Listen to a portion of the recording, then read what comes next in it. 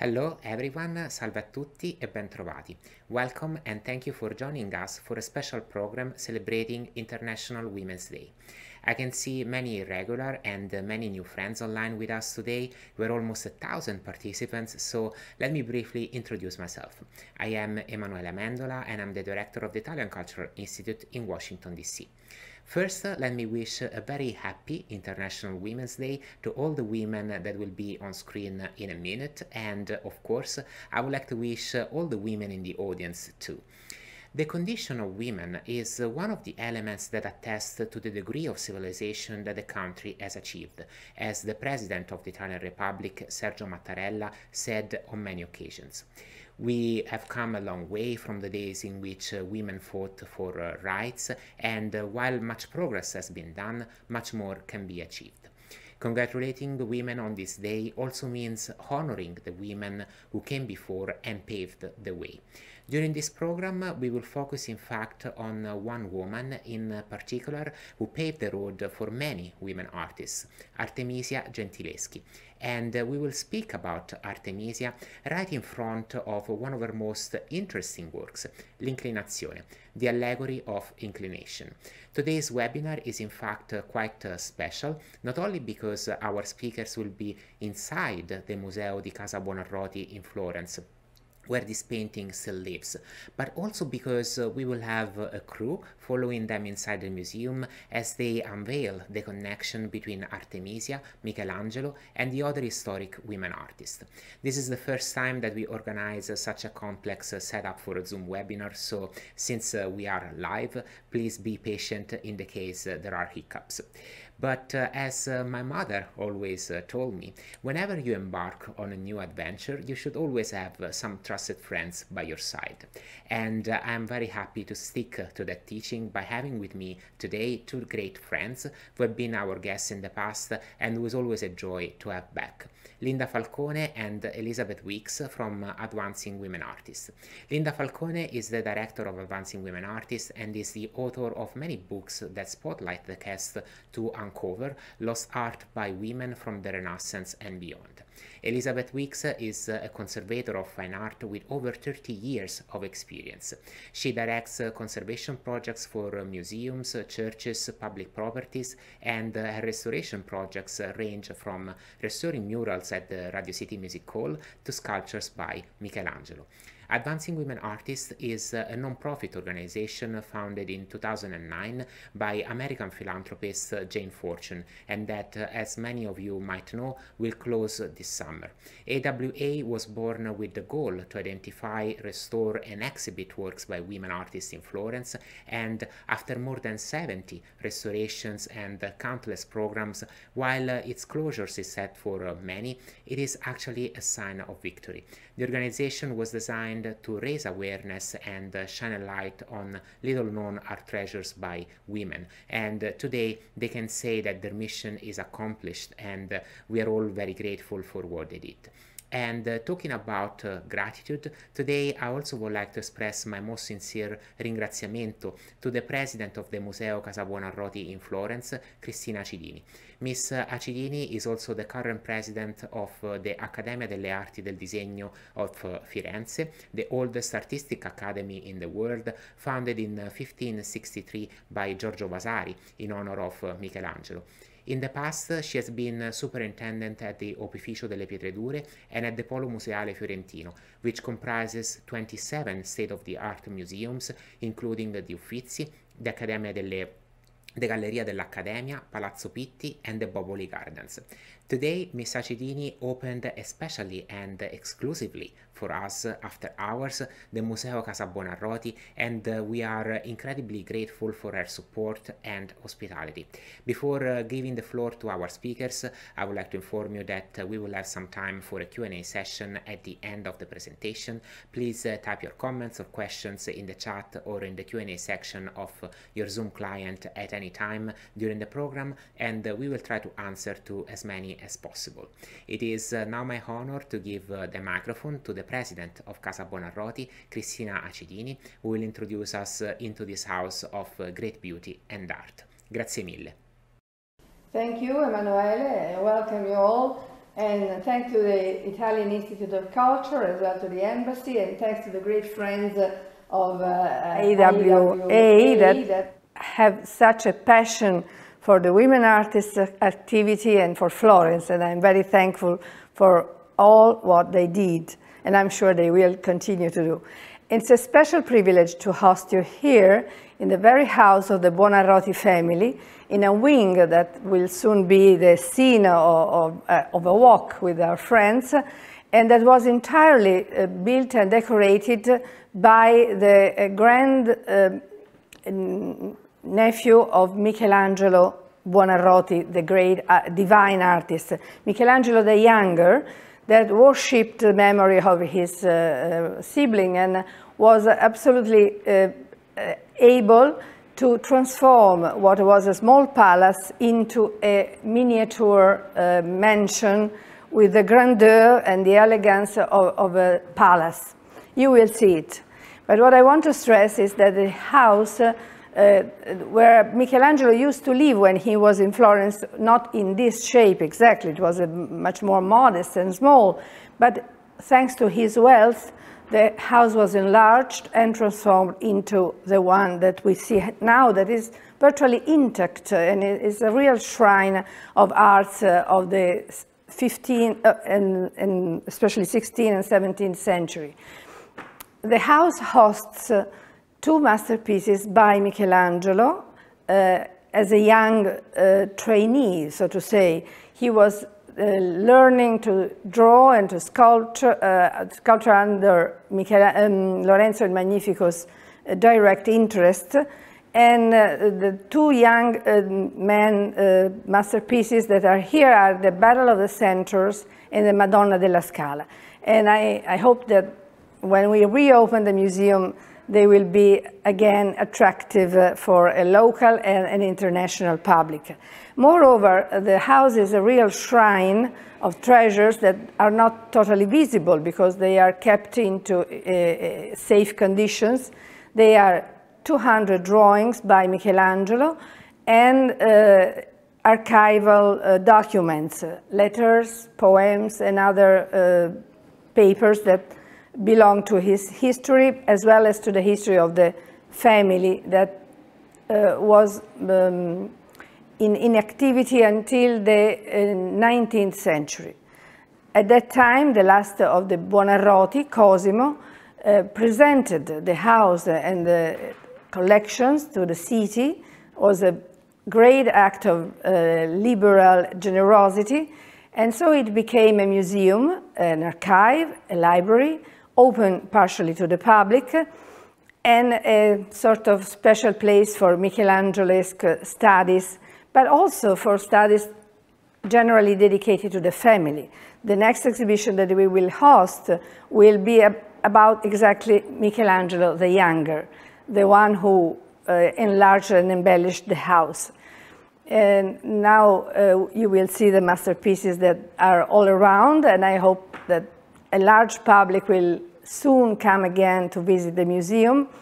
And we are very thankful to all the friends, to all the associations, to all the visitors that want to support Casa Buonarroti. It's a great small museum that needs all the friends it can get.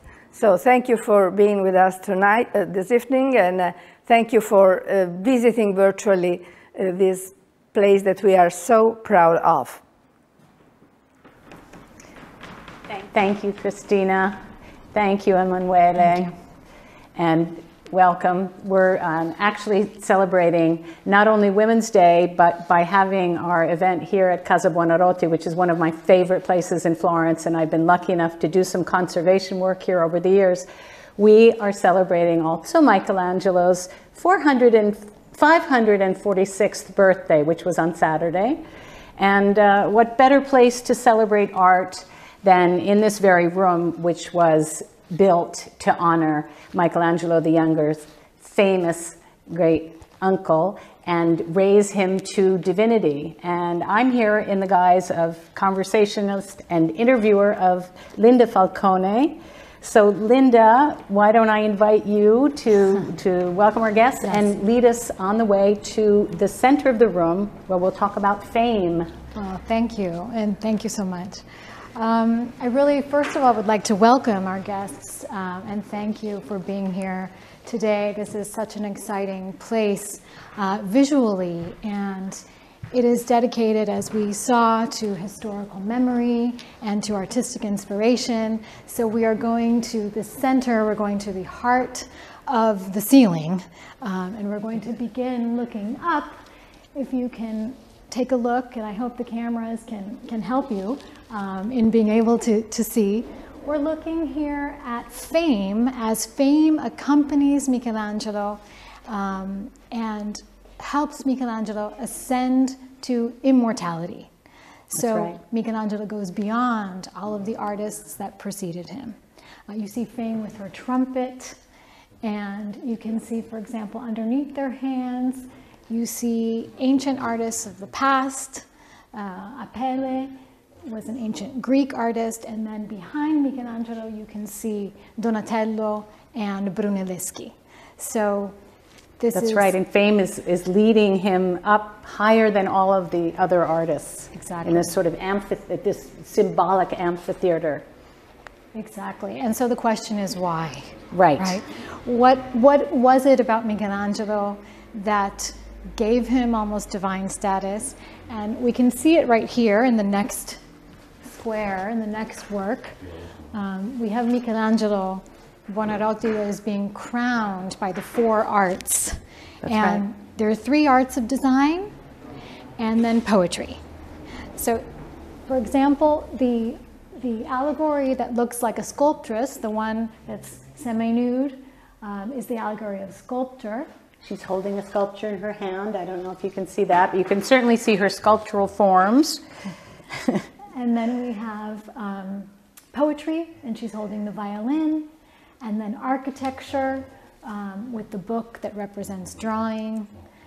And then, um, and then we have painting. That's right.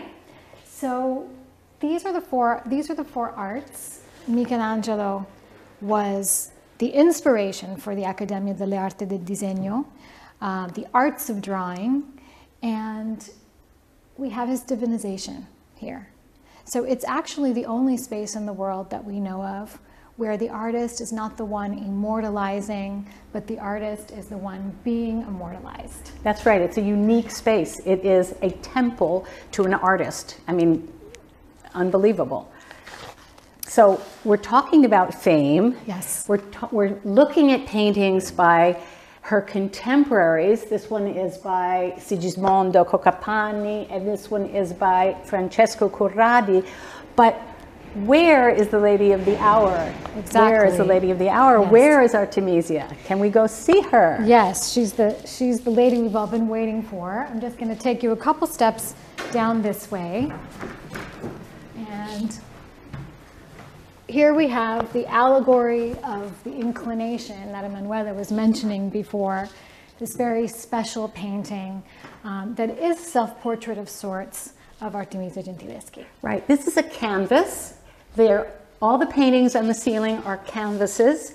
So we know that Artemisia painted this painting when she was five months pregnant. She wasn't actually painting pregnant up on the ceiling, but this was the first painting that was commissioned in this room. And there was a very special relationship between her and her patron, Michelangelo the Younger. So you might want to tell us about that. Sure. Um, he was actually very fond of Artemisia, and he ended up paying her three times as much as he paid the other artists. Um, the artists Wow. on the ceiling were all emerging artists, they were up and coming uh, painters, and Artemisia was as well. But the difference was she was paid as a master painter. Um, but I don't think it's just by chance that he commissioned Artemisia to paint the inclination, this specific theme. Yeah, can you tell us a little bit more about the theme of inclination? Uh, inclination is the the is artistic drive. It's talent.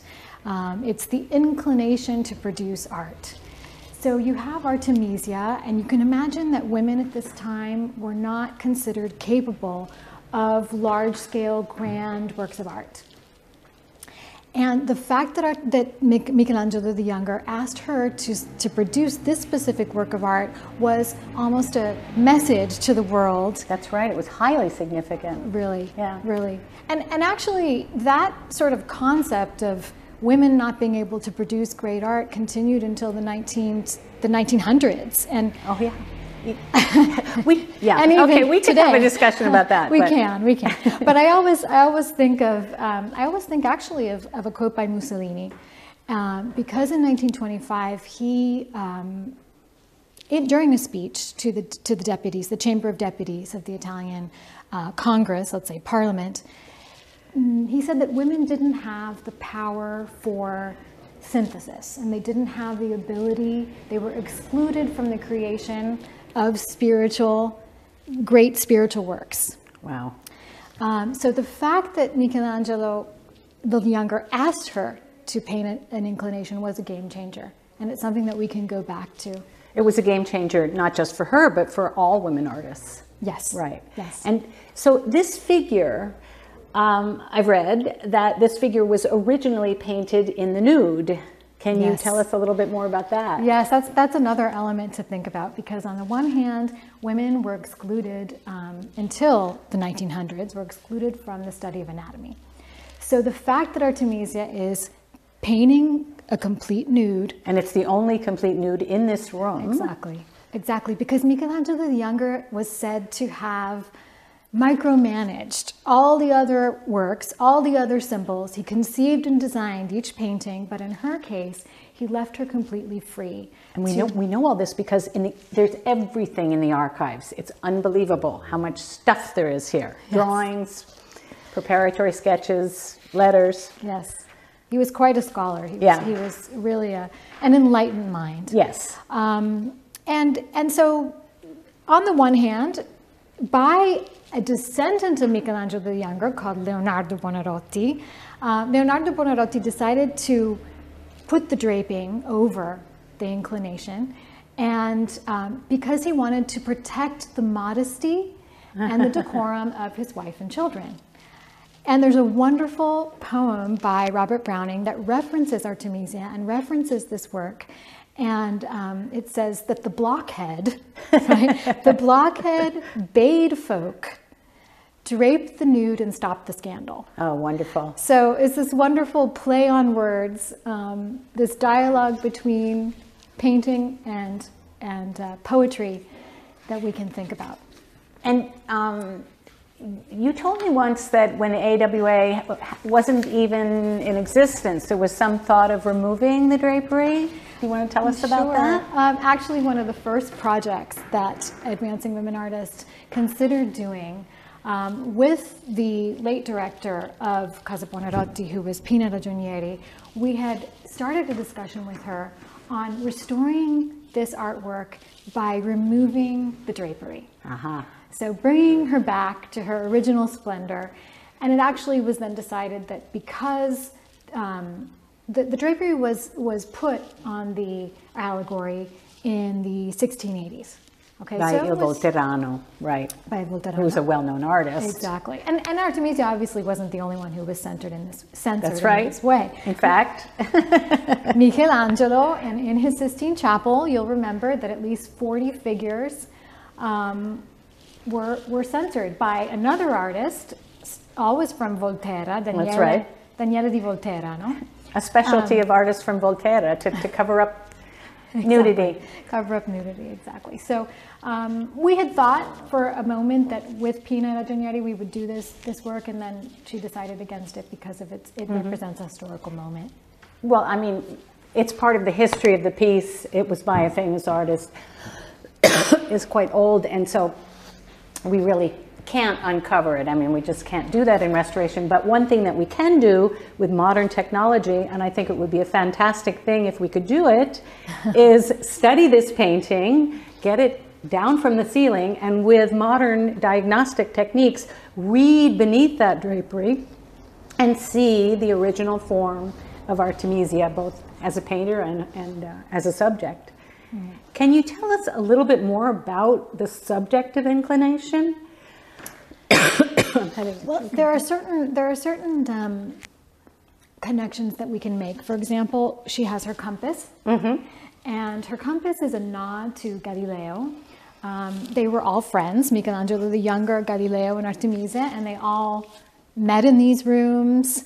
Um, they had their social gatherings, and um, so she, in some way, was supporting his discussion of magnetism, for example, Right. and the- all the scientific discoveries that were happening in this period of enlightenment. Yeah, yeah. There's something though that's interesting, and and and if you look Yeah. at her, her posture, do you want to tell Yeah, us? okay, so, so in this room, originally, one of the, the centerpieces of the room was a, the first um, work that was done by young Michelangelo, the sculptor, when he was in his teens. And it was placed in this room at the end of the room. It was actually walled into the end of this room, and it's now been moved to a, a more proper museum setting. And there's a figure in that bas relief that is very similar to the pose that Artemisia's uh, inclination has holding up her compass. And so we think it might, scholars have thought it might be a nod to a connection that she's making with her piece and Michelangelo's sculpture. So why don't we go see that sculpture, Yes. which is in the next room? You want me to? Um, why don't you lead the Yeah. way? Sure. Sorry. Okay. Cristina, entriamo qua. Entriamo qua. Adesso arriviamo qui. Entriamo qua.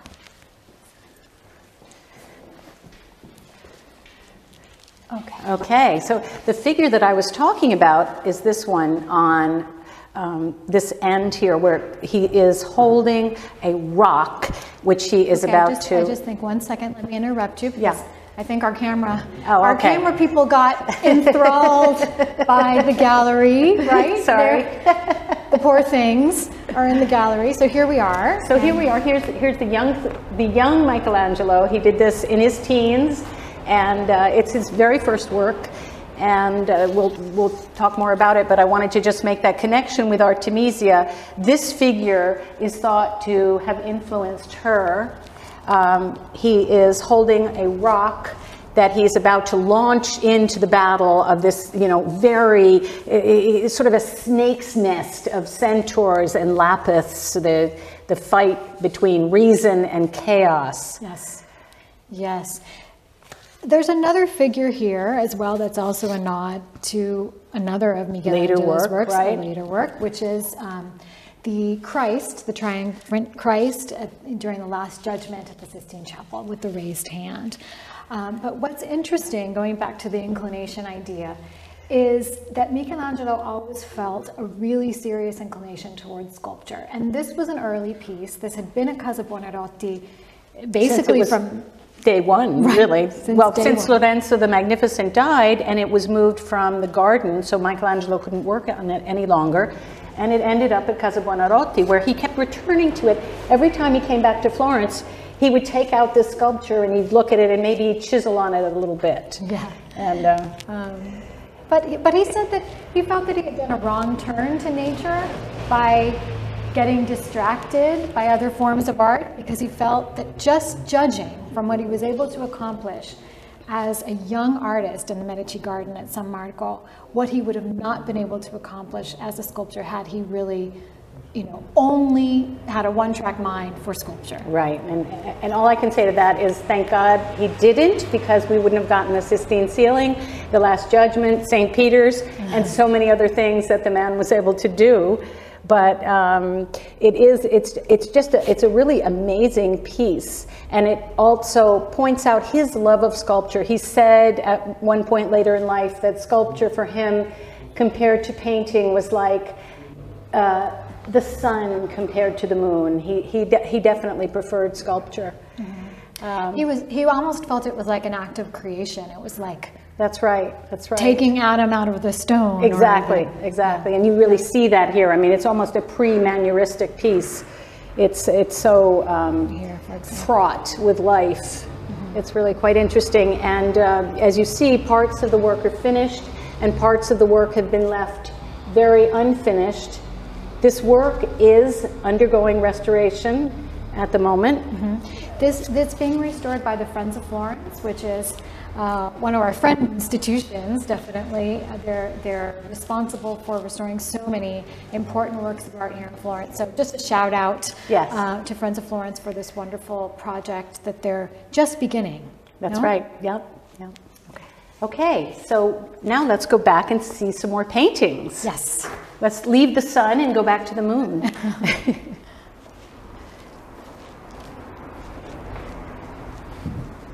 okay, now we're back in the gallery and we're going to show you the twin piece to Artemisia's Inclination, which is this work by Francesco Bianco uh, Bonavita and it was done in 1616 as well. And its title, its attribute, it's the attribute of ingegno. So can you tell us a little bit about what ingegno is? Yes, ingegno comes from genio, which is genius. And so it is the intelligence that one needs to create art. So you can't only have the inclination, you also need to have the know how. Um, this particular figure, this particular allegory is a Mercury like figure, and you can see his wings on his helmet. And we'll remember that Mercury is the god of eloquence, of intelligence, astuteness, dexterity, athl- athleticism.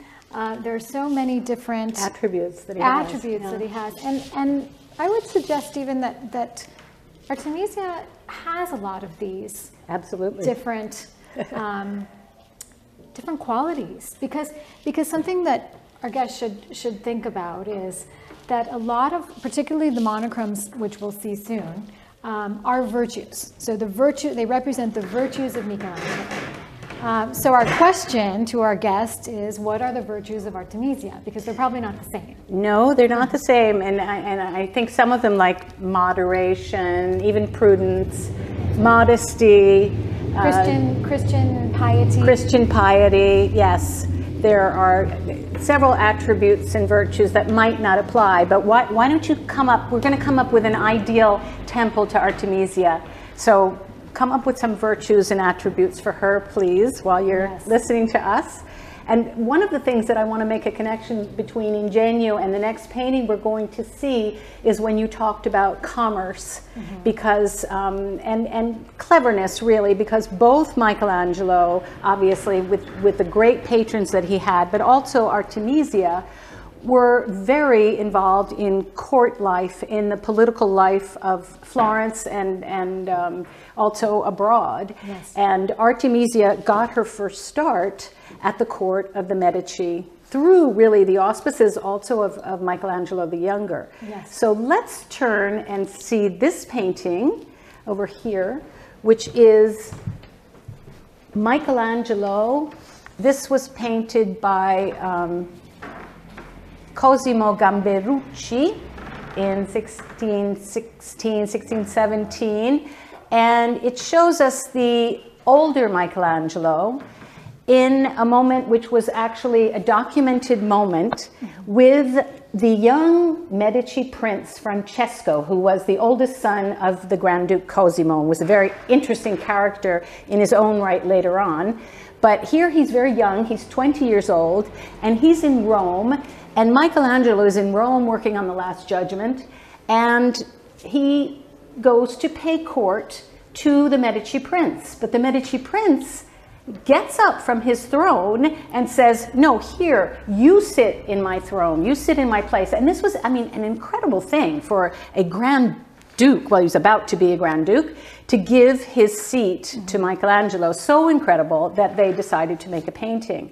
So here we have Michelangelo in with the Medici. And I'm, I'm tying this in now to Artemisia Yes. and uh, her relationship to the Medicis, later Medicis. Yes, I mean, I think I think it's interesting how, well, particularly in the Medici context, how the Medici were so fundamental in creating the artist.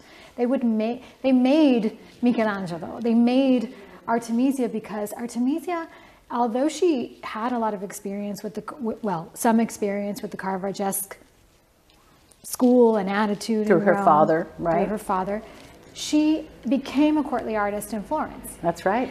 And so she she worked in six courts in Italy and in London throughout the course of her career, but Florence was the 1st Mm-hmm. And something to take into consideration is that she came here, she knew how to read, but she didn't know how to write.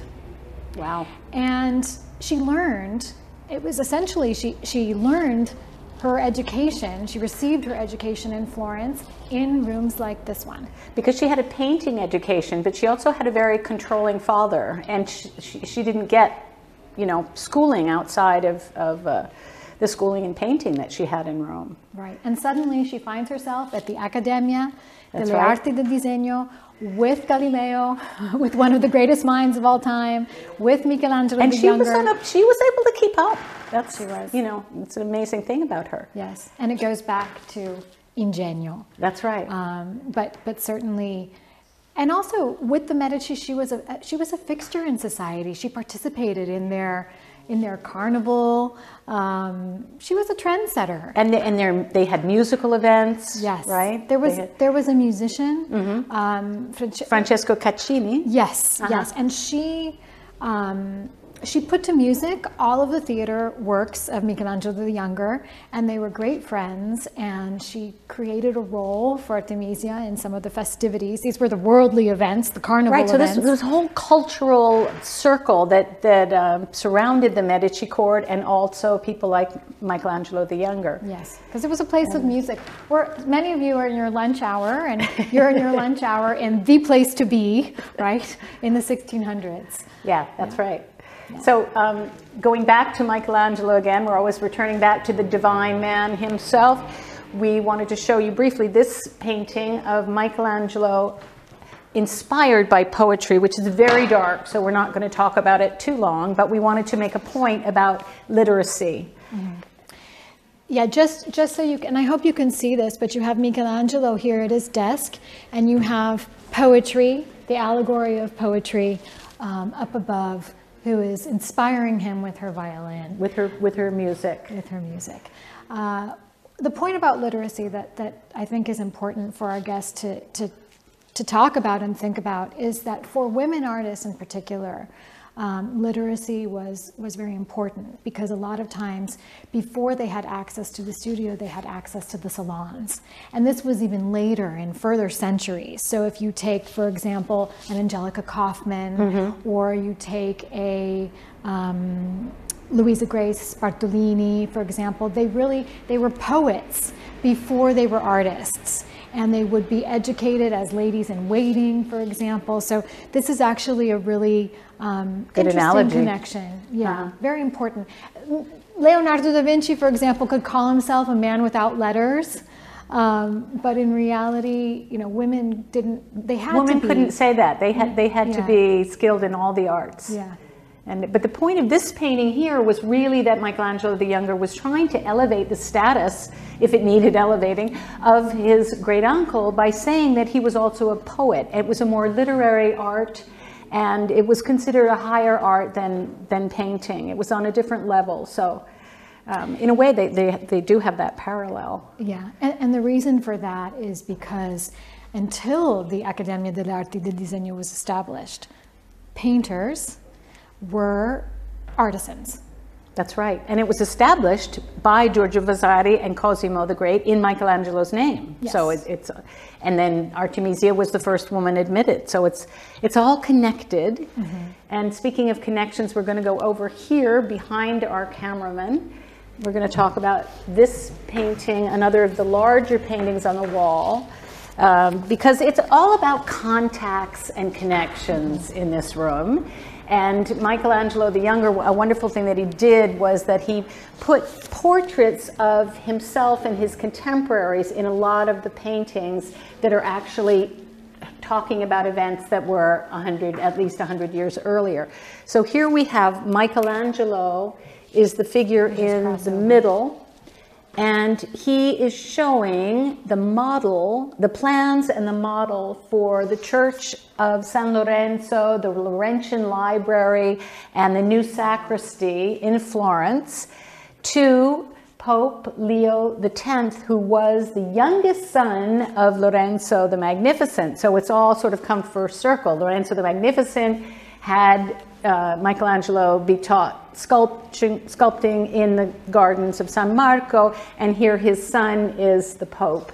And then behind him, there's another uh, Medici who is a cardinal who will become Pope Clement VII. So we're, you know, we're full of popes here. And another nice parallel that we have with the, the house of Casa Buonarroti is that that wooden model, which represents the Church of San Lorenzo, is conserved here at Casa Buonarroti, as are the plans. So you can see it all at Casa Buonarroti. Yeah. We're waiting for people to come back. Yeah, we're waiting for you to come back. So what do we have down here? What are these little paintings, these little monochrome paintings about? This is a favorite of yours, Linda. Yes, yes, this is one of my favorites. I, I really love the monochrome works. We're going to be looking at two with you tonight. Um, this is actually Charles V, the Holy Roman Emperor, um, who, when Michelangelo came into the room, he stood up. So this was, you know, very similar to the painting that we saw with Francesco I um, in the corner, but this idea that, um, well, what he said, or what he is quoted as saying in the legend is, there are many emperors and there are many kings, but there is only one Michelangelo. Okay. And I, that, that's I can, I can see Artemisia saying that about herself. So we, we can think about putting one of those attributes in, in her temple too. Yeah. Well, I think, I mean, Artemisia didn't achieve divinization. No, Um, Not yet. But she, not yet. She's not on her way. Exactly. We have to see if we can do something about that. Yeah. Um, but she did say to a nobleman in, in her writing, you know, the spirit of Caesar in the soul of a woman. That's absolutely right. She And did. if you think of the, C- the Caesar and it represented a, it was a representation of divinity on earth. Of course. Uh, she's really making a statement for herself and, and, and the self-portrait that she put in the inclination was also really relevant because she is She's an angelic figure. Of, Yeah. yeah, yeah. Okay. Shall we go over here and look at another one of our favorite reliefs? These are all by the artist Francesco Furini, and they were done after the other large paintings were finished. So these date from about 1627 to 1628, and they are actually oil on wall, which is a very interesting technique not seen in many places. Yeah, and I'm hoping, I'm hoping the camera can get to some nice detail here. I think the camera's getting in pretty close. Can you get into the corner to the a sinistra là? Yeah. So what are we seeing? We're seeing Michelangelo. Um, the, the title of this work is Michelangelo the, Michelangelo the Magnificent. And we're seeing in one case that he's refusing money offered to him by a cardinal. Um, so he's not corrupted by finances. He looks like he's pushing away a plate of pasta, actually. Well, that wouldn't be happening, right? and then we have Michelangelo giving money for women's dowries. Okay, and this is this on some level we can link this to Artemisia. Of we course. know that she was not magnificent in this sense. She was no, she was very- constantly in need of money. She was always running out of money. Yeah. She was always in debt. She was always writing to all of her noble connections, um, asking for the dowry of her daughter, Palmira, um, asking for solutions. In fact, there's a, there's a wonderful story um, by a scholar, Cavazzini, who, who talks about Artemisia leaving Florence, basically fleeing from On. Florence uh, on the run because of her economic debt. And she didn't finish works that she had been paid for by Cosimo II, that she, and, and that was akin to thievery. So almost like a thief in the night. And it said that she didn't hurt herself on, on her horse because she fears nothing. so it, it- it's quite Not even. Cosimo, not even Grand Duke Cosimo. Not even the Grand Duke, who, Wow. who was actually very supportive of her. Uh-huh. Uh, but that was a, a, a moment, A moment of misunderstanding. yeah, yeah, a moment of, of debt. Um, okay. Okay, well, we'll move on from popes uh, to this last little painting that we want to show you over here in the corner. which is, which represents a very significant event that happened just before Michelangelo was born, because it shows the um, an accident that happened to his mother. Do you want to you want to tell us about that, Linda? She's she's fine. Can you can you? Um, yeah, I don't know if the cameras can. No, we're good. Okay. Yeah, the lighting is not perfect in this little corner of the world, but um, hopefully you can see it. It's it's his mother falling from horseback um, when she was pregnant with I think six months pregnant. Yes. With Michelangelo. And there is this idea that she was unharmed, the baby was unharmed. And this became a popular story, particularly in the 1700s. So they think that it wasn't contemporary actually to Michelangelo, but it contributed to his myth. It, it may not have happened, but it but it helped the legend along. And we see you can't probably see it, but in the top of the tiny little painting that is the, as high as as wide as my hand, you see Archangel Michael rushing in to save the mother. And then Mr. Buonarroti over here on his horse, he's arriving a little bit too late. But nothing happened. He- he- Michelangelo he's arriving was later born. than the angel. That's right. yeah. So this is, you know, all the miraculous birth. So it helps. It helps that whole process of uh, divinization Right. And, and predestination as and well. predestination. Right.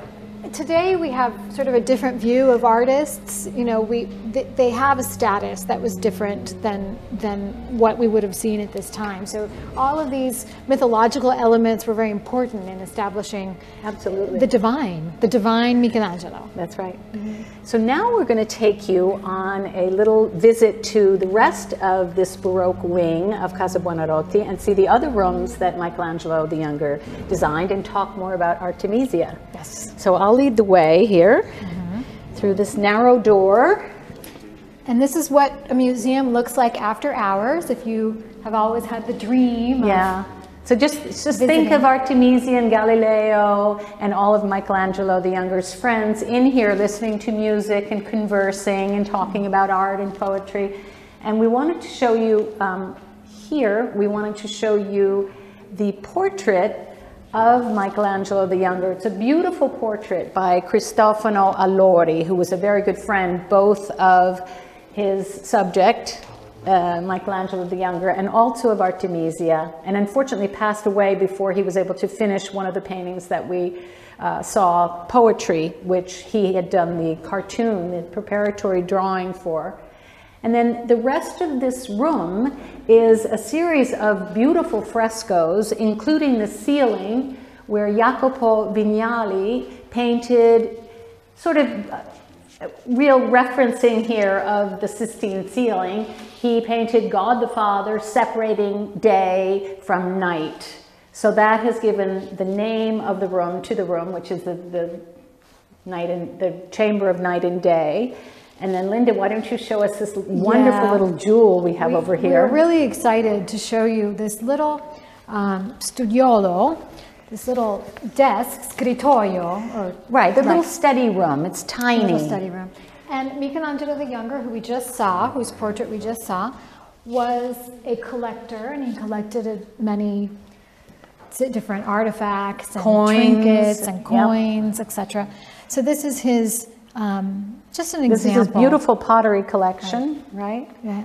And then over here in this en- entrance here inside, if you can just bring the camera inside, Francesco, we can show them the tiny little desk area where Michelangelo the Younger would come to study.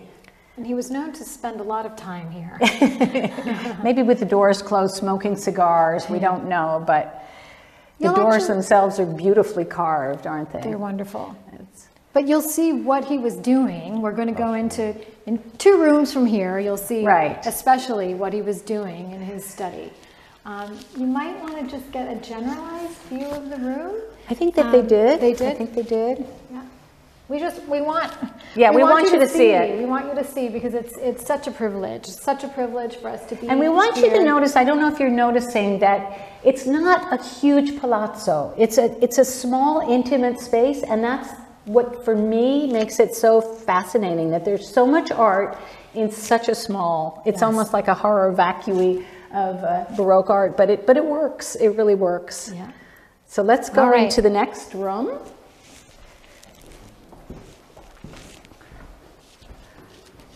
Just really quickly, this one. What? But just these two. No? Yeah. Yeah. Yeah, here we're in what is known as the Chamber of the Angels.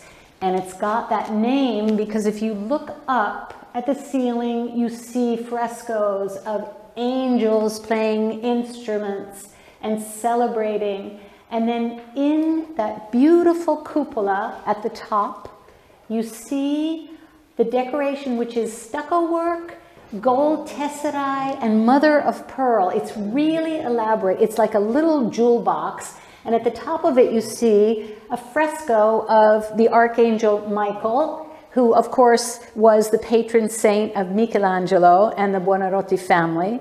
And so there, this is the most religious room, uh, the most uh, full of Christian symbolism. There, there are very And the uh, a whole series of frescoes of the church triumphant on the walls, and, And the, over- fr- and the um, right, altar. and over here, on over here, we have the altar, which this this was actually used as a family chapel from the late 1600s until the Buonarroti family gave it to the city of Florence. And so this is a beautiful inlaid wood um, piece designed by Pietro da Cortona, and then the altar, and then down here we have a relic of Saint Agnes. So this was a, a very sacred space, really.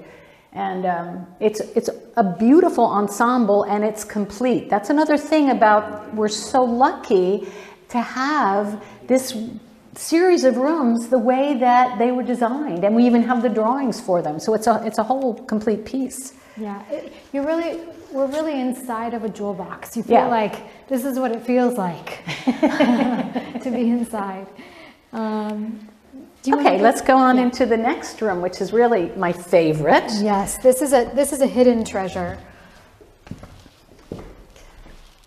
I've also done quite a bit of conservation work in this room, so I'm, I'm particularly fond of it. And it's uh, known as the studio, the study.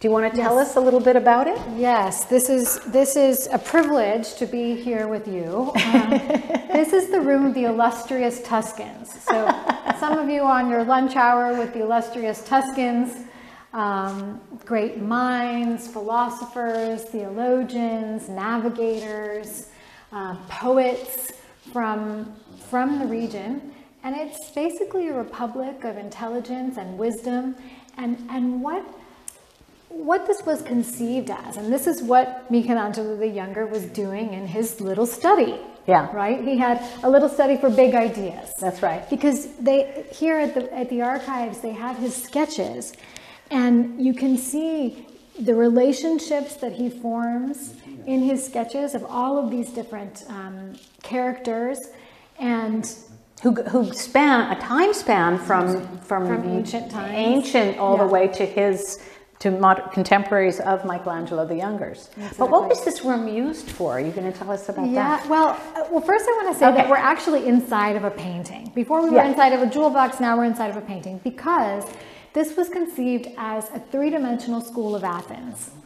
So the school of Athens in Rome with all of the intelligentsia of, of, the, of the world, essentially. And so here we are as thinkers. Liz, come closer to the table with me.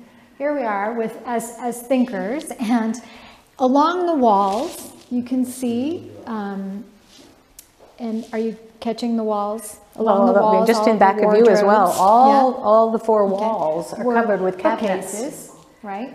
And the volumes of Michelangelo, of Michelangelo the Great's drawings, the ones that he didn't burn, right? Because That's right. Michelangelo was famous for burning his drawings when he felt that they didn't achieve a level of perfection. So, what Michelangelo the Younger wanted to actually do was create a room where scholars of his great uncle and scholars in general, enlightened scholars, could come and study and discuss the works. And so, if you look at the frescoes, you see that all of the figures are actually in conversation. And so it was a way for modern day uh, individuals to participate in history. I just want to. Yeah, and if you, if you look around the room also, you see that all of them have got papers and books they're on. It's a, it's a, an illusionistic loggia of a villa. Yes. And they're all leaning on this wonderful balustrade.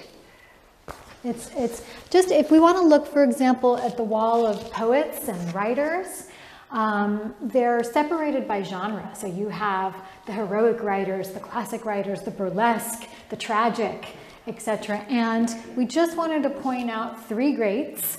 Okay. Um, we have Petrarch, for example, who's sitting on the ledge in the very corner, and he's pointing Looking out at us. to his, yes, he's he's waving. No, but he's pointing Right. to a bust of Plato um, that you'll see up there, and then we have Boccaccio right in the center, another very famous uh, Tuscan poet, the author of the Decameron, and. I dare you all to know who this, This guy over in the poet, corner looking kind of disgruntled with his elbow on his face, but yeah, the supreme poet, the father of the Italian language, Dante Alighieri. Um, so this is an example of the poets and writers, and then Liz, did you want to take us to the Yeah. navigators and Okay, over here on this window wall, we have a more scientific group of people. And in this corner, we have navigators and physicists.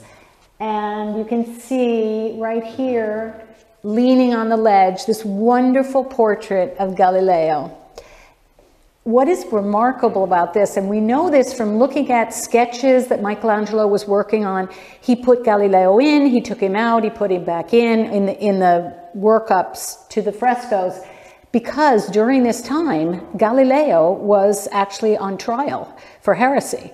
And he finally decided to put him in the fresco. Do you have, do you want to say something about that? Yeah, it was it was a moment he had just um, basically been sentenced. Right. He'd gone through his trial. He'd been sentenced. He was on, he was on exile um, here in Tuscany. And so what Michelangelo Just outside Florence, yeah. Um, but what Michelangelo did by putting him here was to basically vouch for his science. Absolutely. And we have to remember that that Galileo was the Medici's teacher. And so, um, what's interesting is even Michelangelo the Younger, who was a poet, he was an incredible playwright and poet. And one of his poems, um, he, he includes the phrase, Io so che il mondo è tondo, which means, I know the world is round. That's right. Um, but it, it's it's incredible, and I, I, I want to just also recall the connection with Artemisia here as well, because um, if you think of this young woman, you know, who wasn't educated in a classic way, who suddenly found herself among the greatest thinkers of the time, but she corresponded with For Galileo. her, for her whole life, she was writing back and forth with Galileo. Mm-hmm. She called both of them Godfather, both Yeah. Michelangelo That's Younger wonderful.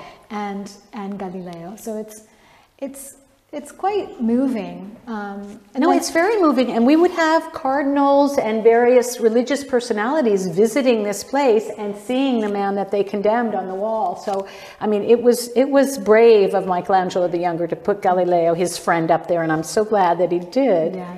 And behind him, there are various other personalities. I just wanted to point out the guy with the in the white holding the map. There is Amerigo Vespucci, who of course gave the continent of the Americas his name because he was a wonderful map maker and uh, put us on the map, so to speak. yes. So, yes. so what about where are the women in this room? Well, honestly, that's why we wanted to basically end our discussion or the, the, the, the walking part of our discussion, let's say, um, in this room because it does inspire the question where are the women?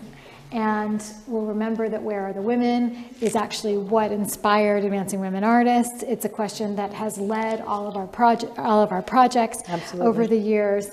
And um, slowly but surely, you know, women are beginning to be recognized. And we, we do have, um, if you, if you just want to look at the, Francesco, if you would look at the ceiling, Um, here we have a representation of history.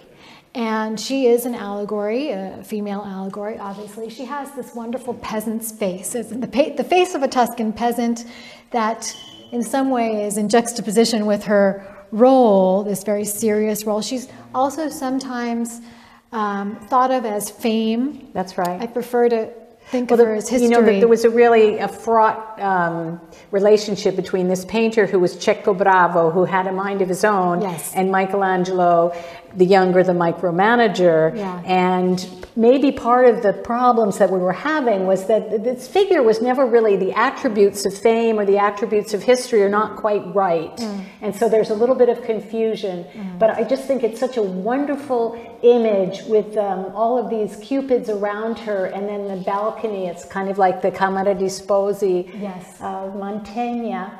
And the and, same colors, too. Yeah, same colors. yeah. And she has a, a, a pen that has a, a, flame, essentially, the light of knowledge. Right. And um, the olive, and the olive branch, branch yeah. rather than the trumpet. So That's right. This, this throwback also to um, Athena, the goddess of wisdom, and we see and, they, and there are the four crowns. You see the four crowns that are being held up of poetry, sculpture, architecture, and painting. So that brings us back to the divinization of Michelangelo in the first room. So really, maybe history brings you fame. Mm-hmm. So, you know. well, I think, I think that this figure, history, was she who inspires virtue. Mm-hmm. And one thing when we were when we were taking a walk through the museum um, with Elena Lombardi, um, one of the wonderful. main fixtures yeah. of, of Casa Buonarroti, um, a wonderful um, storyteller too. Along with Dr. Cecchi, Along with course. Dr. Cecchi, yes. She was, she was telling us that um, Michelangelo the Younger was one of the first to recognize the importance of his relationship with Michelangelo, to establish himself and affirm himself as a, as a descendant of Michelangelo. And that is something that I want to to tell you about it, you know, to tell the audience about because I think in the work that we do and, and the work that we do, I'm including everybody in this because it is the job of all of us to recognize and remember the achievements of our ancestors and of women, particularly um, within the context of art by women. Um, but that idea of, of recognizing the, the bond, recognizing and valuing the bond. And so what Michelangelo the Younger did was create this amazing testimony to, to his great uncle's contributions, right? And so there's a piece of Artemisia there and, and many other artists as well um, that we've mentioned, but I think that's a, a, closing thought that we can. Well, it's also the perfect closing thought for AWA because I mean, what have we done? We've we've created the bond, yeah, and this bond is going to continue. Yes, yes, it really is. So. Okay. I, I think we're so, done with our visit, and yeah. so we're going to go back to the gallery now. Yeah. And we'll have questions. Yeah. So we are going to go back through the rooms right. um, quickly, and we will be happy to um, speak with the audience. And we're hoping, right, Liz? We're hoping that some people will have added a value or a virtue that they think is um, appropriate for Artemisia. Exactly. That that that sort of exemplifies her life. Um, it would be interesting to see what you have to say from that point of view. So yeah. we're asking you questions too. Not only um, are we getting asked, and we, we want to hear from you. Yeah. All right. Uh, Linda, Liz, can you hear me okay? Yes. yes. Okay, that's great.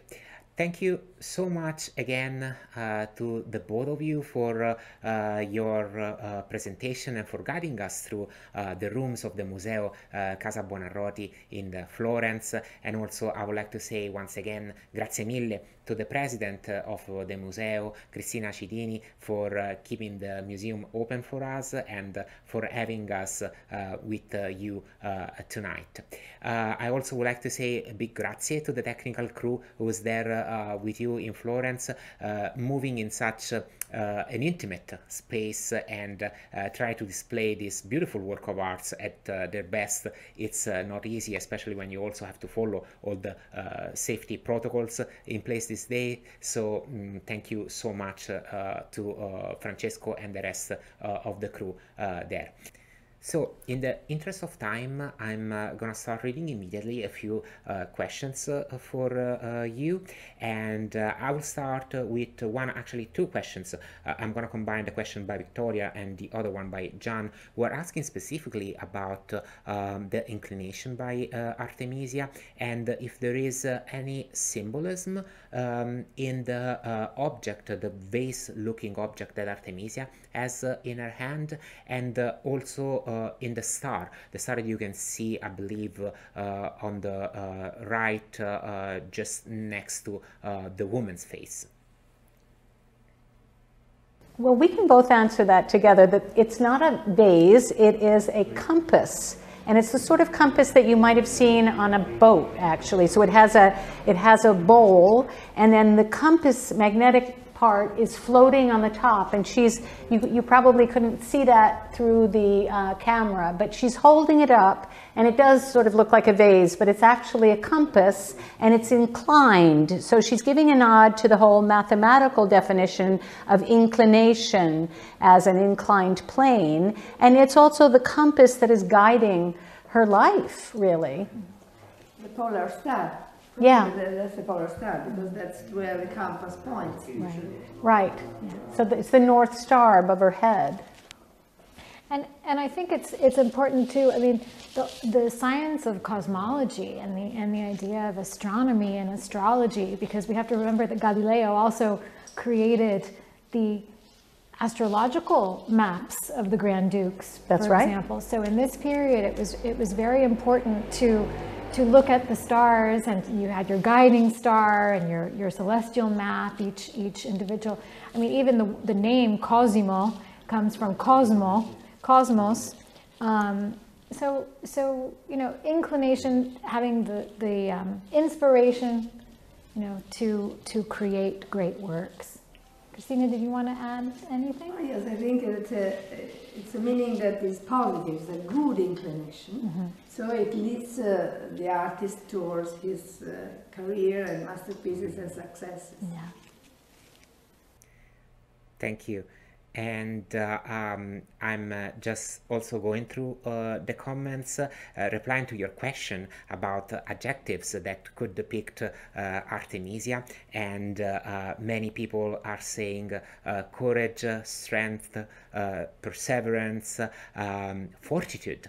many beautiful words, I have to say, and also many many of our um, viewers are uh, asking if you would recommend uh, any uh, books to read about Artemisia and learn more about her art.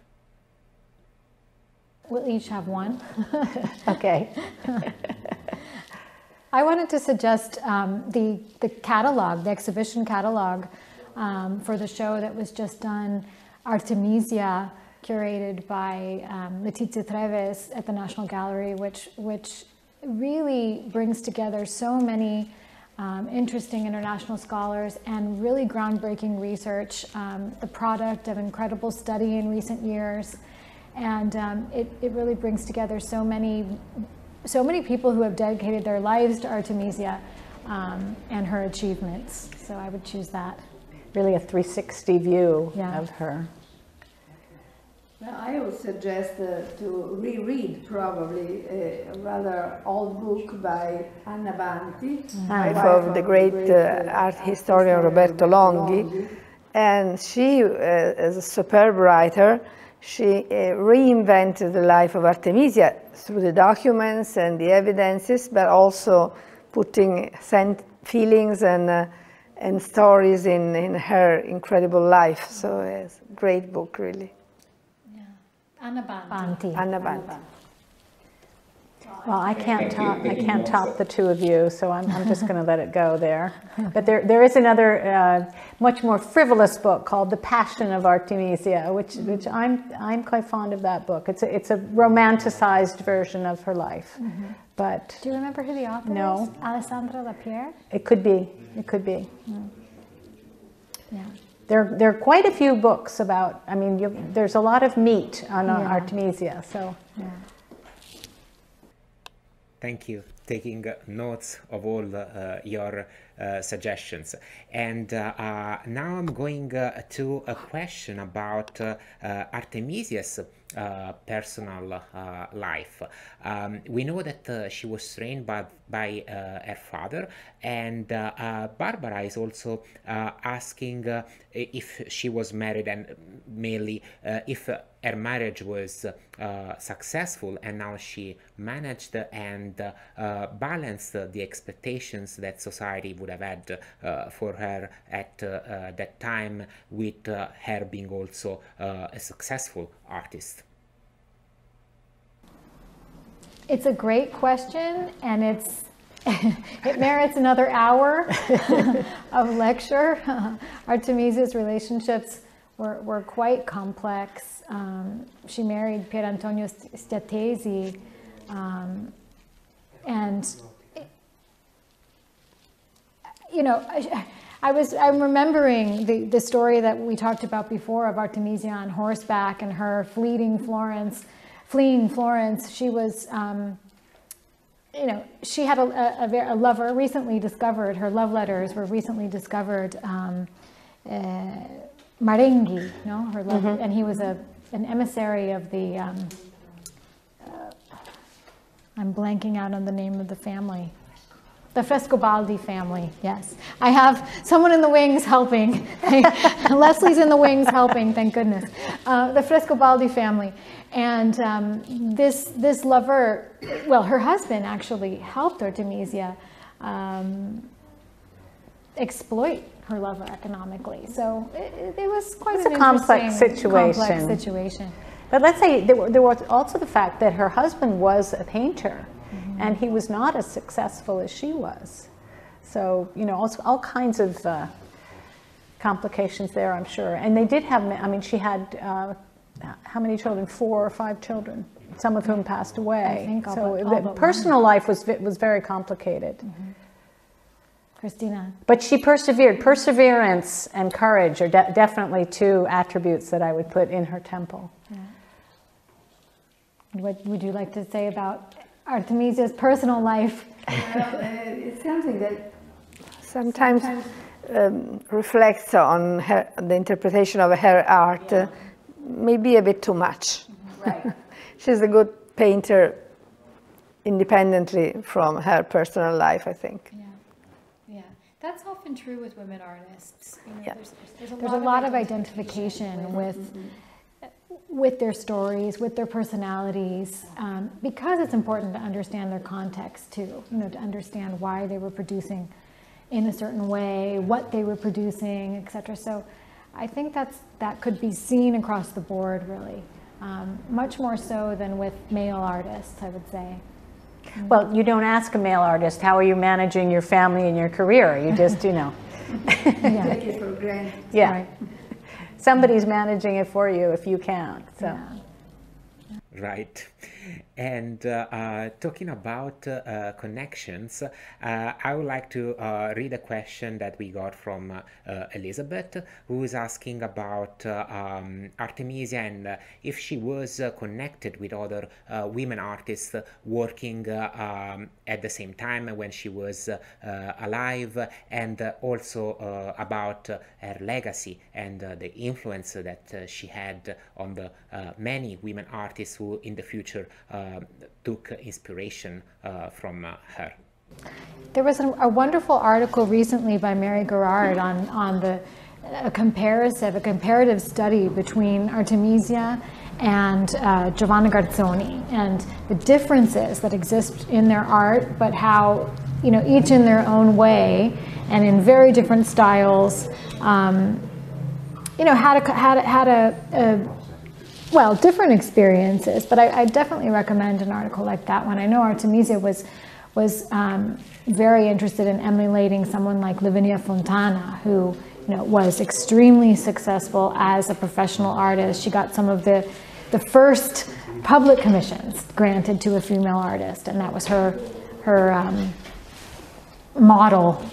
And, she, and Artemisia, when she got to Naples, she finally got her first public commissions in churches there. Mm-hmm. I know that she taught her daughter to paint, her daughter Prudence, Prudentia. Mm-hmm. Um, yeah. So I think I think she was making those connections. Mm-hmm. You want to Thank add, you. Christina Rose, make you make you no, take away the last so many women artists at the time, especially yeah. in Florence, and uh, so probably she was a bit isolated from yeah uh, from a gender point of view. Yeah. Okay, I think we have uh, uh time for one last um, question and uh, I would like to take this uh, uh question from uh, Leslie which is uh, very uh, interesting and also I think it gives us a nice way to wrap up this presentation. Leslie is asking why Artemisia often uses herself as a model and she's also suggesting that this might be because as a woman she had access to her body but she's also saying that this could be a way way to uh, immortalize herself. And uh, from uh, an external point of view, uh, I'm not an expert on this uh, subject, but I, I, would totally agree with her because uh, what Artemisia did in this painting, the, the inclination that we have just seen is, is quite unique. She is representing uh, Michelangelo's uh, virtue by um, making a self-portrait. So it's indeed a great uh, sign uh, of authorship, uh, a sign that she was aware of uh, her ability and a sign that maybe she thought herself, you know, at the same level of Michelangelo. That's exactly right. I mean, yeah. she's she's creating a connection between herself and Michelangelo the Great, um, and I mean, essentially, it was marketing. You know, it was it was a way to to present her face to the world, and also it was a privileged position because in a, in a situation where there weren't you know hundreds of female artists working in a certain court, for example. Um, commissioners found that very attractive to, to have uh, both maker and muse. You know, someone who could be in the canvas and be also creating the canvas. And she often would um, choose heroines, whether it was Cleopatra or Lucrezia or um, Judith. Know, Judith. There was always something reminiscent of, of Artemisia's face. You know, I even idealized even beginning with, with, with, one of her first portraits, the, the martyred saint, which, you know, she turns a self-portrait into a Saint Catherine. Mm-hmm. And um, maybe in the beginning she was really not having access to other faces, but I, I think it then became a trademark of hers. Mm. Well, the self-portrait of an artist was becoming a very fashionable uh, yes. way of, of painting uh, portraits, and, and I think it was for from Artemisia a strong um, statement that she was as important as a male painter. Mm. Tell us, Florence has so many self-portraits oh, yes. you know, by women. Thanks to the one of the Medici family, Cardinal Leopoldo, who started two collections, two remarkable collections, a collection of, a collection of drawings that still a, a landmark in, in, this kind of work of art, and the collection of self-portraits. Mm. He started asking the art, living artists and buying on the market the old ones. Yes. And so it, was a genial idea that mm -hmm. is so so good that still the collection is open and it can acquire and incorporate uh, contemporary artists' yeah. portraits, self-portraits. Right. And we also dedicated, do you remember that, I think, uh, an exhibition on the women self-portraits. Yes, yes, yes. yes. Yeah. 2009. Uh-huh. the autoritratti. Yeah. The Wonderful. A wonderful exhibit. Yeah. Not far away. No. It was, it was here, nearby. So close. Well, everything's close in Florence. So what do you think, Manuela? Are we Oh, I think uh, it was uh, brilliant. So thank you so much again, Linda and uh, Liz, for uh, your time and for guiding us uh, through the museum and uh, uh, through the rooms of uh, Casa Buonarroti. And uh, again, my deepest gratitude also goes uh, to Cristina Acidini for uh, uh, having us in uh, Museo Casa Buonarroti uh, tonight. Um, well, your night, our uh, afternoon. And uh, I also would like to say grazie uh, to the uh, technical crew in Florence. As I was mentioning at the very beginning of this uh, program, this uh, uh, was the first time that we tried uh, doing something like this using uh, uh, live cameras instead of um, using a slideshow, a screen share on Zoom. And I have to say that, you know, it took three women for us to do so. so again uh, grazie uh, mille everyone and i would like to take this opportunity to remind our audience that uh, the rest of our programs uh, during this month uh, will also be devoted uh, to uh, women and the role of women uh, in italian history. We'll have programs on music cinema literature. We will talk about grazia deledda who was the first and only italian woman to win the nobel prize for literature. Please uh, stay in touch with us, follow us on our social media to learn how to join us for uh, these uh, events. Again, grazie mille uh, Linda, thank you so much uh, Liz and grazie really uh, our deepest gratitude goes to uh, Cristina Acidini and Museo of Casa Buonarroti. I couldn't have imagined a better way uh, to spend uh, International Women's Day and uh, also again uh, buona festa della donna, happy Women's Day to all of you and to all the women in the audience. Alla prossima, arrivederci. likewise? Thank you so you. much. Thank you. Thank you. Thank you so much. Bye bye. Bye bye. Bye bye.